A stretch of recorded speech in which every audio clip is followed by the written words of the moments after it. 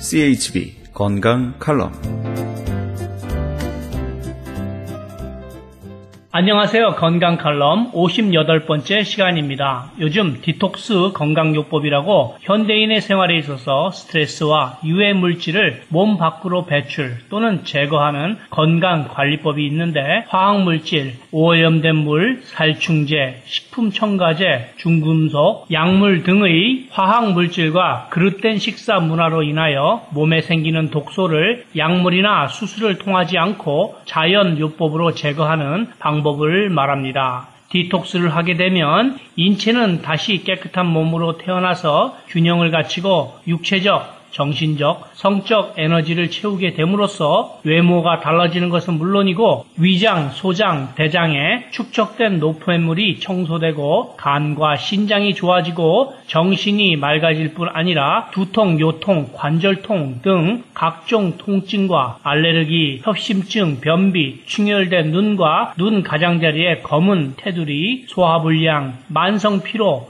여드름, 전립선 질환, 생리 불순과 통증, 정맥류, 당뇨, 심장병, 신장 결석 등의 많은 질병의 치료가 가능한데 한의학에서의 수많은 처방이 설사를 하게 하거나 땀을 흘리게 하거나 오줌을 누게 하는 독소 배출을 목적으로 하고 있고 가장 오래된 의료 체계인 아유르베다 의학에서도 관장은 물론이고 설사를 일으키는 약초, 귀와 코의 세척, 마사지 등으로 수많은 만성 질환부터 이름 모를 희귀한 병에 이르기까지 이 방법을 통하여 치료해 왔습니다. 우리 몸에는 디톡스 시스템이라고 해서 소화기에는 간, 대장, 위장관이 있고 비뇨기는 신장, 방관, 요도, 호흡기에는 폐, 인후, 부비강, 코, 임파계에는 임파관과 임파절, 피부에서는 땀, 피지선, 눈물로 해독 작용이 이루어지고 있습니다만은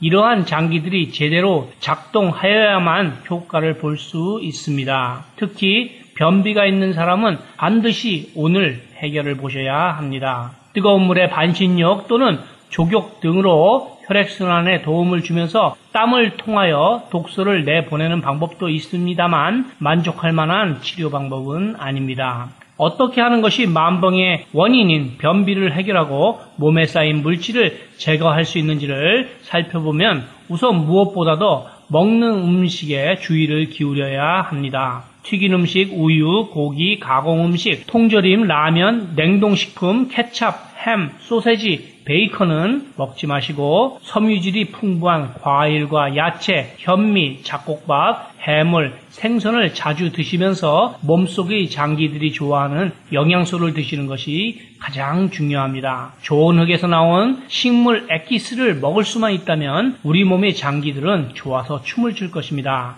장기들이 춤을 추니까 변비는 바로 해결되고 이로써 몸속에 쌓였던 독소들도 밖으로 내어 보내지게 됩니다. 저는 여기서 무슨 병에든지 큰 효과를 줄 수 있는 신비한 기적의 영양제 M3, 유태인 특수 영양제 M3를 권해드립니다. 많은 분들이 효과를 보셨다고 하니까 추천해드립니다.